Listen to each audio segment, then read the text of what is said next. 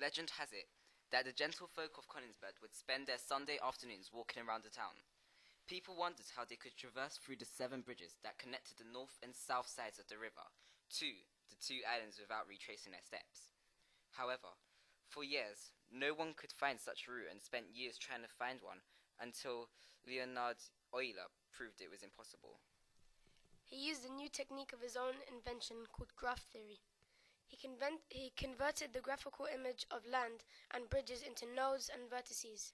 Euler looked at how many vertices each node had and noticed that the nodes could be odd or even. An odd node has an odd number of vertices, and an even node has an even number of vertices. If a node is in the middle of a journey, you need a bridge to enter and a bridge to leave each time. So the number of bridges will always be a multiple of 2. So if the node is odd, you have to either start or finish at that node, otherwise you will get trapped.